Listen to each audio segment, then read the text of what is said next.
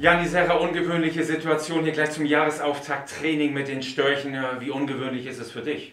Ja, ist ein bisschen komisch, äh, weil man das so nicht kennt. Ähm, man muss dann so angehen, also ich bin so angegangen, dass es ein normaler Arbeitstag ist und äh, habe dementsprechend auch nicht viel gefeiert. Und ja, jetzt steht man hier. Muss man sich wohl dran gewöhnen, auch in der nächsten Saison soll es so sein. Keine Winterpause, die Winter-WM steht an.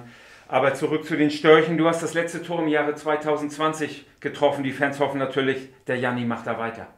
Ja, hoffe ich auch. Ähm, ich bin gut drauf, denke ich. Ich fühle mich gut, bin fit. Ähm, klar, müssen wir da weitermachen.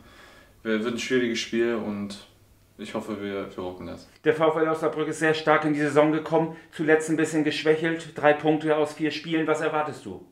Ein schwieriges Spiel. Also, wir haben letztes Jahr nicht gegen Osnabrück gewonnen ähm, zweimal verloren und äh, ich denke, da sind wir noch uns selbst einige schuldig, dass wir das Spiel auch gewinnen und eine gute Leistung zeigen und äh, dass das in dieser Liga gegen keinen Gegner einfach, einfach ist, wissen wir, aber ich denke, wir sind selbstbewusst genug zu sagen, dass wir das Spiel gewinnen.